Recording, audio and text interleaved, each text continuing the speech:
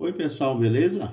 Bora estudar? Neste vídeo a gente vai resolver uma questão tá, de concurso público recente, 2022, na verdade é zerada, né? Novinha, novinha aí, da banca Funesp, né?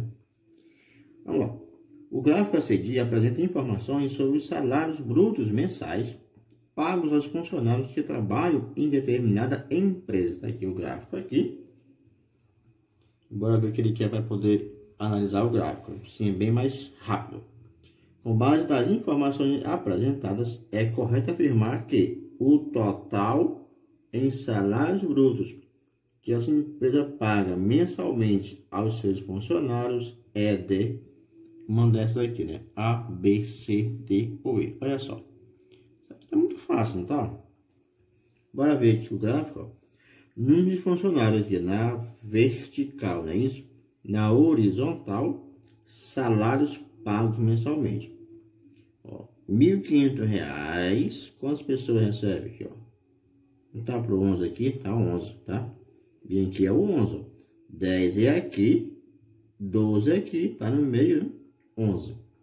Então, posso fazer o seguinte, né? Que 11 pessoas, cada uma recebe R$ 1.500, ok? Mais R$ mil reais, quantas pessoas recebem?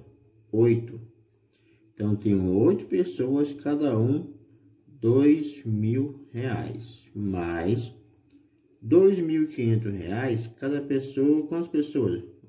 Aqui, ó. Tá entre o 6 e o 4, que é o 5. Então, aqui, cinco pessoas, cada um recebe dois mil e quinhentos reais. Mais três mil reais, quantas pessoas? Duas pessoas, né? Cada um, duas pessoas, cada um, três mil reais. O que achar o total, é só fazer esse continho aqui, ó. Quanto é 11 vezes 1.500? Se for só 10, ó, 10 vezes 1.500 dá 15 mil. Ainda tem mais uma vez 1.500, dá 16.500. 8 vezes 2.000, 16 mil. 5 vezes 2.500 dá 12.500. 2 vezes 3.000 dá 6.000. Olha só.